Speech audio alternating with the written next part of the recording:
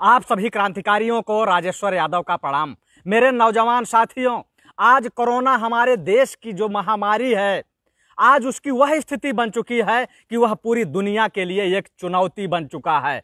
वही स्थिति आज हमारे देश के लिए है। हमारे देश के जो प्रधानमंत्री जी हैं, वो कभी ताली पिटवाते हैं, कभी पाँच मिनट थाली पिटवाते हैं और कभी नौ मिनट दिया जलवाते हैं। और जो इस देश के अंदर ये कोरोना वायरस फैल रहा है, यह बहुत ही घातक है। लेकिन जितना घातक हमारे देश के लिए कोरोना वायरस नहीं है, इससे कहीं ज़्यादा घातक इस देश के अंदर अंधभक्त हैं। भक्त ऐसे लोग हैं कि अगर कोई प्रधानमंत्री जी की टिप्पणी अगर आती है और उस पर अगर कोई बात करता है तो उसको वो गाली गलौज शुरू कर देते हैं।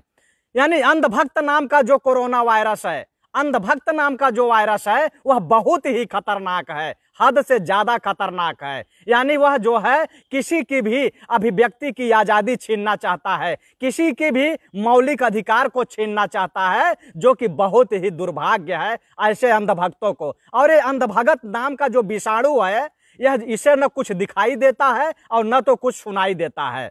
इसके जो मन में आता है, वो वही कहता है। मैं आपको बताना चाहता हूँ कि हमारे देश के प्रधानमंत्री जी पाँच मिनट थाली पिटवाए। पाँच मिनट ताली बजवाए, उसके बाद उन्होंने दीप जलवाया। प्रधानमंत्री जी की कोई टिप्पणी नहीं आई कि इसका क्या वैज्ञानिक कारण है, लेकिन ये जो अंधभगत वायरस हैं, इनके अलग अलग टिप्पणी आना शुरू हो गई। आज कोरोना की महामारी जिस तरीके से देश के अंदर फैल रही है, हमारे देश के जो प्रधानमंत्री जी हैं, प्रधानमंत्री जी कह रहे हैं कि आज देश के अंदर युद्ध जैसी स्थिति बनी हुई है। उन्होंने यहाँ तक कहा कि हो सकता है कि आपको अपने जेवर, अपनी जमा पूंजी देश के नाम दान करनी हो। यह प्रधानमंत्री जी कहते हैं। इससे ये लग रहा है कि वास्तव में हमारे देश के अंदर जो राजकोष है, वो कहीं ना कहीं खाली हो रहा है। और मैं आपको बता दूँ कि यह टिप्पणी जब इन्होंने किया, युद्ध स्तर की जब बात किया तो सन उन्नीस सौ इकहत्तर में इंदिरा गांधी की याद आ गई। इंदिरा गांधी वह शेरनी थी किसी दल और पार्टी से मतलब नहीं है, लेकिन इंदिरा गांधी को मैं आपको बताना चाहता हूँ कि जब इकहत्तर का युद्ध हो रहा था, पाकिस्तान, पूर्वी पाकिस्तान, पश्चिमी पाकिस्तान दोनों अलग थलग जब पड़े हुए थे तो उस समय अमेरिका भी जो है, धमकी दे रहा था। अमेरिका के जो उस समय के राष्ट्रपति थे, जिनका नाम निक्सन था। निक्सन ने इंदिरा गांधी को धमकी दिया युद्ध बंद करने का, और यहाँ तक कि बंगाल की खाड़ी में अमेरिका की जहाज़ उतरना शुरू हो गए। लेकिन उसके बावजूद भी इंदिरा गांधी जो है, वो टस से मस नहीं हुई थी। उन्होंने यह यह भी नहीं कहा था कि देश के अंदर युद्ध चल रहा है। आप अपने जेवर जो है दान कर दीजिए, या अपनी जमा पूंजी दान कर दीजिए। वह जो है स्वयं इस मुहिम से निपटने के लिए स्वयं पहल किया और उन्होंने अपनी संपत्ति और अपने जेवर, उन्होंने देश के नाम दान किया था। प्रधानमंत्री की जो इस तरीके से ये कह रहे हैं, मुझे लगता है कि इनका कोष खाली हो गया है। और यह कोष कैसे भरेगा, मैं आपको बताना चाहता हूँ कि प्रधानमंत्री केयर फंड तरीके तरीके से जो है, लोगों से अपीलें की जा रही हैं कि लोग पैसे दें। अरे, वे लोग पैसे कहाँ से देंगे? जो आज देश की सत्तर करोड़ आबादी आज सड़कों पे उतर के भूख के लिए तांडव कर रही है। लेकिन मैं ये भी जानना चाहता हूँ कि ये जो गोबर भक्त हैं, अंधभगत, इन्होंने कितने रुपए का दान किया है, क्या कहीं दिखाई दे रहा है, क्या कहीं पता चल पा रहा है? मैं बता रहा हूँ आप लोगों से कि यह जो कोरोना है, इस विपत्ति से निपटने के लिए मैं आप लोगों को बताऊँगा कि कैसे इससे निपटा जा सकता है और कैसे सरकारी कोष भरा जा सकता है। अभी तक जितने भी साथी देख रहे हैं, मैं सारे साथियों से गुजारिश करूँगा कि आप लोग लोगों को जोड़िए और आप लोग लोगों को जोड़िए। मैं बताता हूँ कि प्रधानमंत्री जी के पास कोई पढ़ा लिखा लगता है कि सलाहकार नहीं है जो उन्हें सलाह दे करके कोष भर दे, लेकिन मैं उन्हें सलाह दे रहा हूँ कि कैसे देश का कोष भरेगा। लेकिन आप लोगों से निवेदन है कि आप लोग लोगों को जोड़िए। आप लोग इस वीडियो को ग्रुपों में शेयर कीजिए। जो काम मीडिया को करना चाहिए, जो दलाली करने वाली भाड़ मीडिया है, निन्यानवे परसेंट लोग केवल सरकार की सरकार के इशारे पे काम कर रहे हैं। उन लोगों को मैं चैलेंज देना चाहता हूँ या चेतावनी देना चाहता हूँ कि मेरी इन पाँच बातों को वो प्रधानमंत्री जी तक पहुंचाएँ। हो सकता है कि वह राजकोष भर जाए। जितने भी साथी देख रहे हैं, मैं सभी साथियों से आग्रह करूँगा कि आप लोग दस दस ग्रुपों में शेयर करें। क्योंकि अंधभगत ज़्यादा जुड़े हैं। ये जो अंधभगत नाम का वायरस है, ये ज़्यादा जुड़ा हुआ है। क्रांतिकारी साथी कम जुड़े हैं और मैं सभी क्रांतिकारी साथियों से ये चाहूँगा कि आप लोग अधिक से अधिक लोगों को जोड़ने का प्रयास करें। जितना लोगों को आप अधिक से अधिक जोड़ेंगे, मैं आपको बताना चाहता हूँ कि यह जो है सरकारी कोष कैसे भरेगा। सरकारी कोष भरने का मैं आपको पहला मंत्र देता हूँ कि जो सरकारी विज्ञापन है या होर्डिंग है जो लगाई जाती हैं सरकार का प्रचार करने के लिए, प्रसार करने के लिए, उनके कार्यों को बताने के लिए, उन पर जो खर्च आता है पूरे एक साल में, वह बारह सौ करोड़ रुपए आता है, बारह सौ करोड़। अगर वह दो साल के लिए बंद कर दिया जाए तो चौबीस सौ करोड़ रुपए अपने आप सरकारी कोष में चले जाएँगे। लेकिन वो बंद कैसे होगा? एक होर्डिंग आप देखेंगे, पेट्रोल पंप पे लग जाती है, जहाँ मोदी जी हँसते रहते हैं, अवंध भगते कहते रहते हैं कि अगर पेट्रोल का दाम दो सौ रुपए लीटर हो जाएगा, तब भी हमारा सपोर्ट मोदी जी को। और बेचारों के जेब में दो रुपए होता नहीं है कि वो दस किलोमीटर कहीं चले जाएँ, बाइक वाले को हाथ मारेंगे और उस पर बैठ के जाएँगे।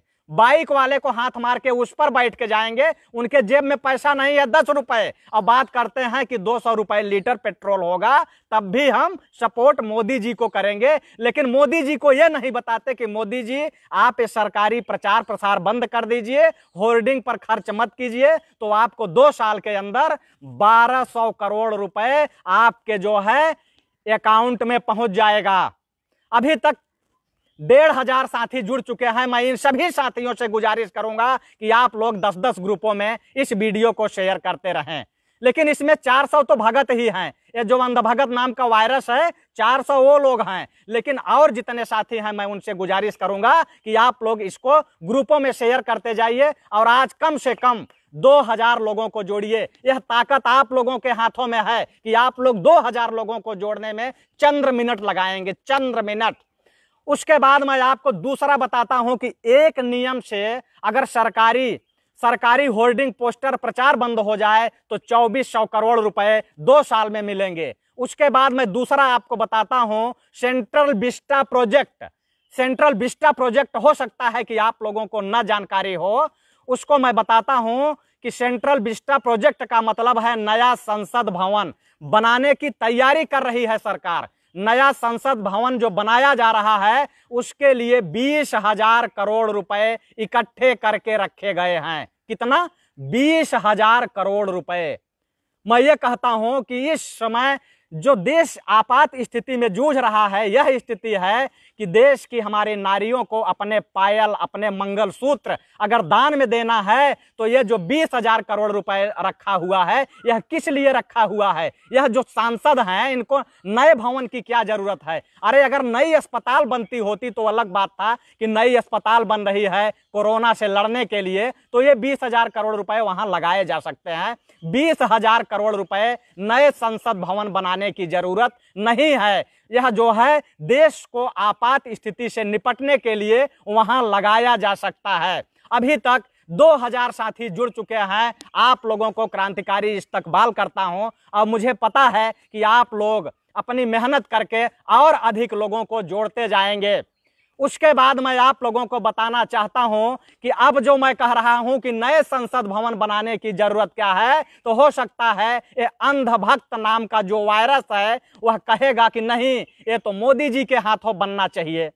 उसके बाद मैं आपको बताना चाहता हूँ कि तीसरा तीसरा जो है, दो हज़ार करोड़ बीस हज़ार करोड़ इधर मिल गया और चौबीस सौ करोड़ रुपए आपको उधर मिल रहा है होल्डिंग में। उसके बाद तीसरा मैं आपको बता रहा हूँ कि विदेश दौरे पर हर साल 400 करोड़ रुपए खर्च होते हैं। विदेश दौरे पर हर साल सांसदों को, मंत्रियों को, विदेश मंत्रियों को, प्रधानमंत्री को 400 करोड़ रुपए एक साल में खर्च होता है। अगर यह खर्च दो साल के लिए बंद कर दिया जाए तो यानी कि एक हज़ार करोड़ के लगभग सरकारी कोष में वह भी इकट्ठा हो सकता है। जबकि आज के जमाने में प्रेस कॉन्फ्रेंस होती है, वीडियो कॉलिंग होती है, कई देश के लोग आपस में बात कर सकते हैं तो इस खर्च को रोका जा सकता है। इस खर्च को रोका जा सकता है। आज जिस तरीके से देश की यह स्थिति है, और अभी तक 2000 से ज़्यादा साथी जुड़ गए हैं, मैं सारे साथियों से निवेदन करूँगा कि हम आपको पाँचों बातें बताऊँगा, लेकिन आप लोग एक बार इस वीडियो को ग्रुपों में शेयर कर दें। प्लीज़ ग्रुपों में शेयर करने के लिए आप लोगों को करना क्या है कि आप लोग शेयर का ऑप्शन दबाइए। जैसे शेयर का बटन दबाएँगे, वहाँ ऊपर लिख के आएगा, राइट द पोस्ट उसको छोड़ दीजिए, दूसरे नंबर को छोड़ दीजिए, तीसरे नंबर पे जाएँगे तो वहाँ जो अंधभगत नाम का वायरस है, उसकी तीन मुंडी बनी होगी वहाँ। और उस मुंडी पे क्लिक करेंगे तो ग्रुप आ जाएगा और बारी बारी से एक एक ग्रुपों में आप दस ग्रुपों में शेयर कर दीजिए। वहाँ जो है, आप देखेंगे, जैसे आप शेयर का बटन दबाएँगे तो तीसरे नंबर पे राइट द पोस्ट छोड़ेंगे, दूसरा नंबर छोड़ेंगे, तीसरे नंबर पर ये जो अंधभक्त नाम का जो कोरोना वायरस है, उसके मुंडी दिखेगी, उस मुंडी पे क्लिक करेंगे और सारे ग्रुपों में आप शेयर कर देंगे। उसके बाद मैं आपको बताना चाहता हूँ चौथा नंबर, जिससे कि सरकारी खजाना भरेगा, वह चौथा नंबर में इतना अधिक धन आएगा कि आप सोच नहीं सकते, कल्पना नहीं कर सकते। यह जो है सरकारी नाजायज जो खर्च होता है, जो अमली जामा पहनाया जाता है बीबीआईपी नेताओं के लिए जो फ्लीट चलती है, उसमें जो खर्च आता है, वह बहुत लंबा खर्च है। अगर उसमें केवल तीस परसेंट कटौती कर दी जाए। तीस परसेंट मैं इसलिए कह रहा हूँ कि जो बड़े नेता हैं, वो बहुत ज़्यादा झूठ बोलते हैं। जनता में उनका विश्वास नहीं है तो तीस परसेंट से ज़्यादा कटौती अगर हो जाएगी तो उनके लिए शायद खतरा भी पैदा हो सकता है। तो उनके लिए खतरा न पैदा हो, इसके लिए मैं कह रहा हूँ कि तीस परसेंट कटौती उसमें से अगर हो जाए, तीस परसेंट कटौती अगर हो जाए तो दो लाख करोड़ रुपए, कितना?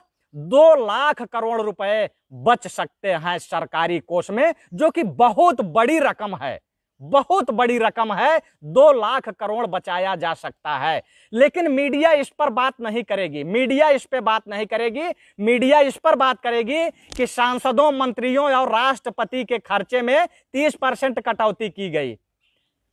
लेकिन वो जो सरकारी नाजायज खर्च है, उसमें कटौती नहीं, उनकी सैलरी में कटौती की गई।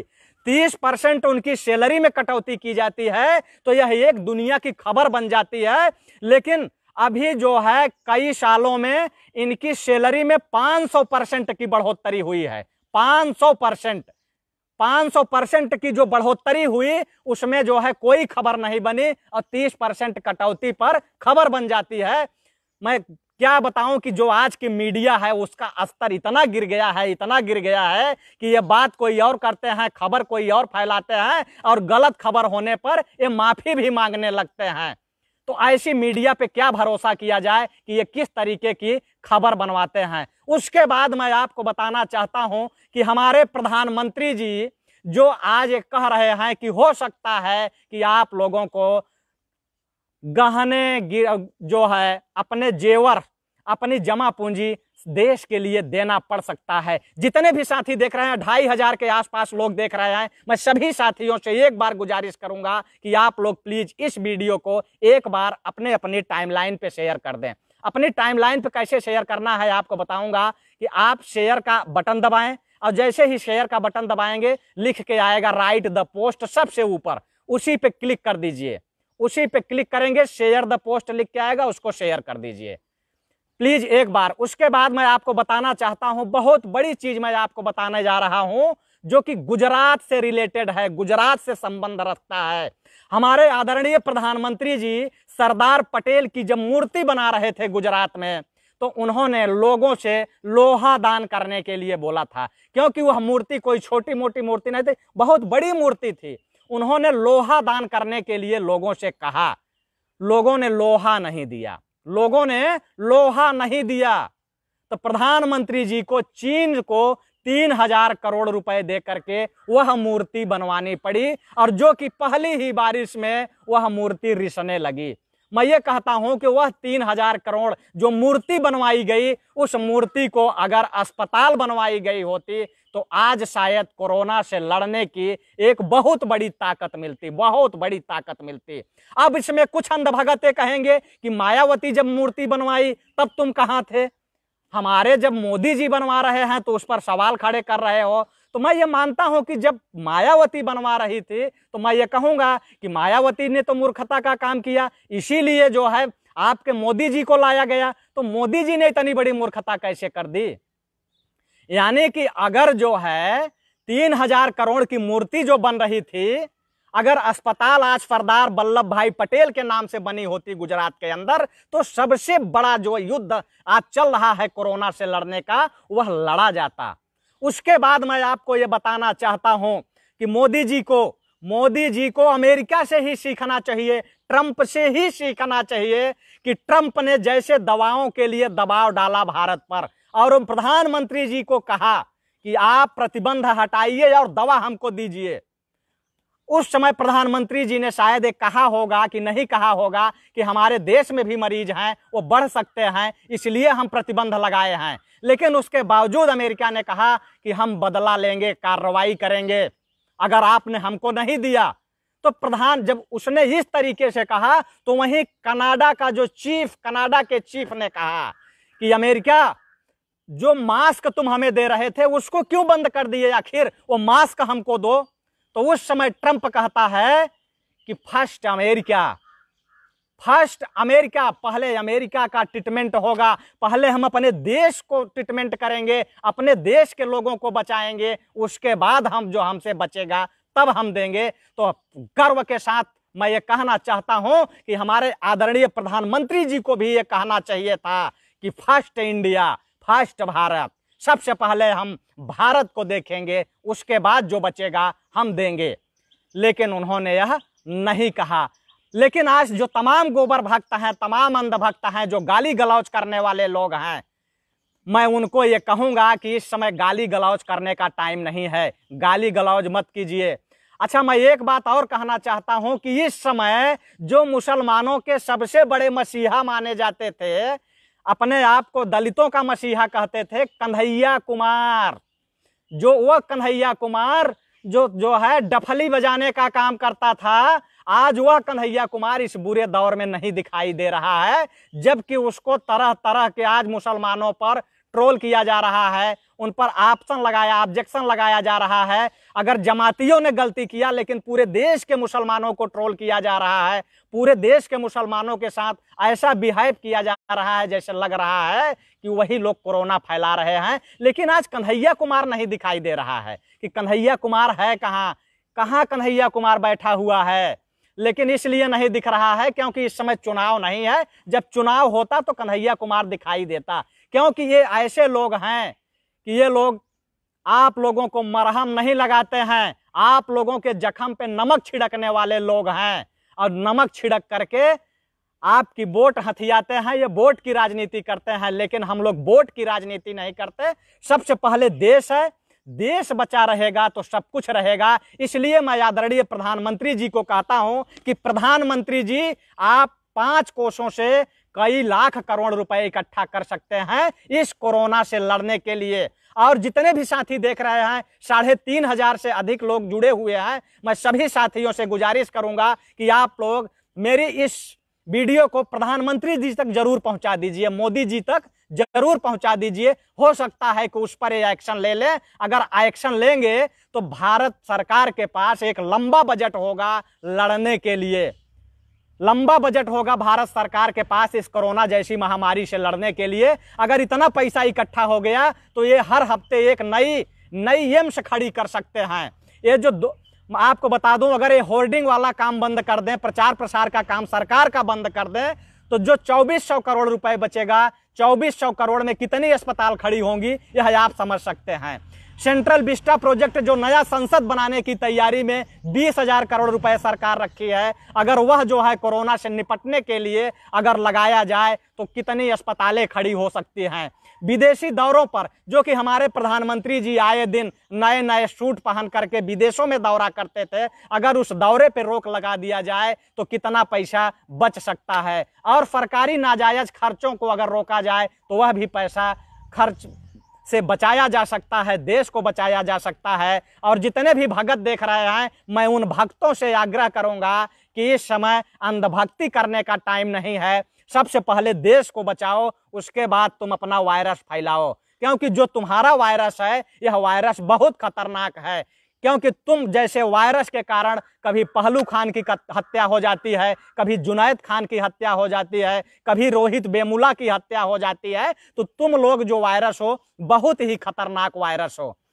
मैं जितने भी साथी देख रहे हैं, मैं सभी साथियों से एक बार गुजारिश करूँगा कि आप लोग इस वीडियो को लोगों तक पहुँचाने का प्रयास करें और पहुँचाने की कोशिश करें। और हमने जो कुछ कहा है, अगर यह गलत हो, अगर यह गलत होगा